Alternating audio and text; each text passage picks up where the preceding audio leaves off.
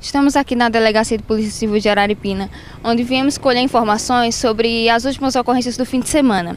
Onde o caso que teve mais repercussão foi o corpo que foi encontrado próximo ao canal São Pedro. Nós tivemos é, duas ocorrências é, consideradas né, graves, né, que foram os dois homicídios aqui na região, né, um na cidade de Pupi e o outro aqui em Araripina. Né.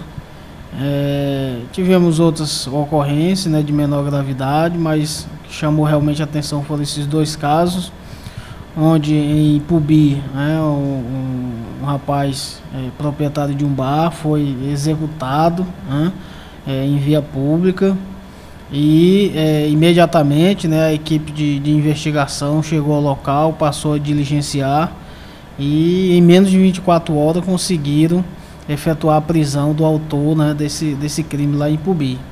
Tivemos também aqui em Araripina o, o, homicídio, né, um crime é, é, com requintes de crueldade. Né, as investigações estão em andamento, né, bastante promissoras e a gente espera, é, dentro do prazo legal aí, estar tá, é, apontando né, e levando à justiça o autor desse crime também.